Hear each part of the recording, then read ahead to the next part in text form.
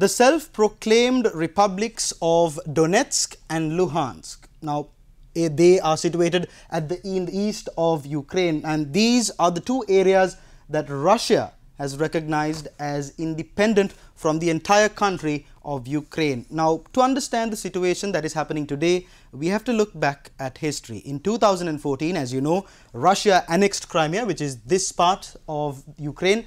And when they annexed Crimea, an armed uprising began in these two regions. Uh, these rebels who started the uh, armed uprising were supported by Russia. They were armed, uh, they were provided weapons by Russia and their independence is not recognized uh, by the international community and Ukraine and the West say that Russia has instigated an uprising in the east by pouring in weapons and uh, through the border and bolstering these regions. Now, with that being said, this is what the Russian president had to say about the move Russia made yesterday.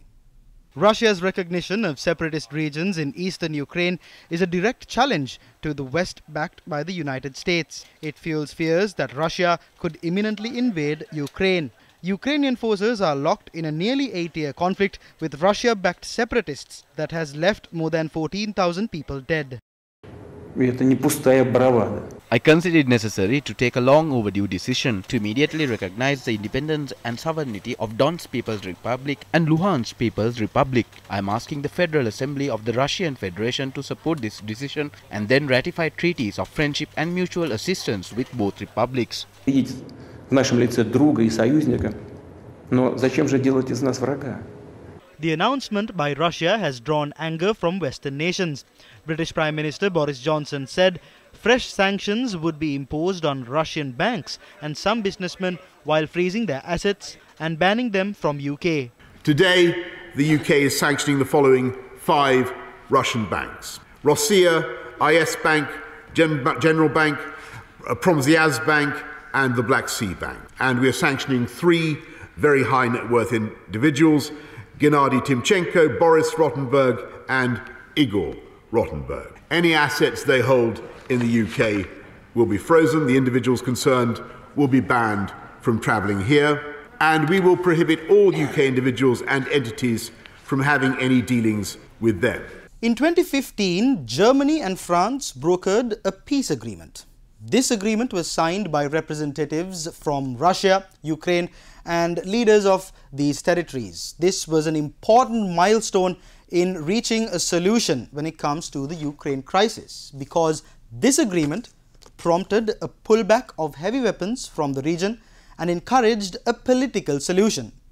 But now that Russia has recognized uh, Donetsk and Luhansk as independent regions and have agreed to supply weapons to them as well, it is a clear violation of the 2015 agreement.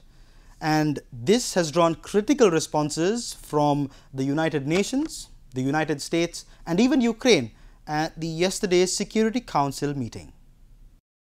The UN political chief opened an emergency meeting of the Security Council calling Russia's recognition of separatist areas in Ukraine's east a violation of the country's territorial integrity and sovereignty. The Secretary General considers the decision of the Russian Federation to recognize the independence of certain areas of the Donetsk and Luhansk regions to be a violation of the territorial integrity and sovereignty of Ukraine and inconsistent with the principles of the Charter of the United Nations. We very much regret this decision, which risks having regional and global repercussions. The US ambassador to the United Nations said Russia's announcement is an unprovoked attack on Ukraine's sovereignty and territorial integrity. Russia's clear attack on Ukraine's sovereignty and territorial integrity is unprovoked. It is an attack on Ukraine's status as a UN member state. It violates a basic principle of international law, and it defies our charter. What is more, this move by President Putin is clearly the basis for Russia's attempt to create a pretext for a further invasion of Ukraine.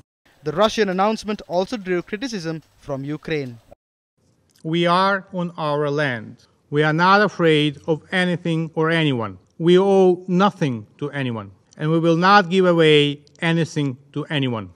Now, meanwhile, Sri Lanka has issued an advisory to all Sri Lankans living in Ukraine.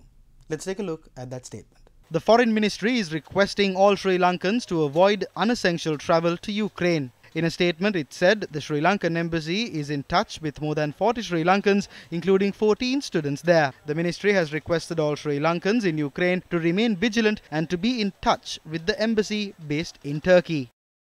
As Sri Lankans, what can we observe uh, from the ongoing Ukraine crisis? Now, we know that there are special economic zones here in Sri Lanka in which different laws are being enacted.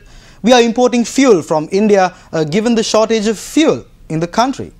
At a time like this, if India and China enter into a conflict, how will Sri Lanka be impacted?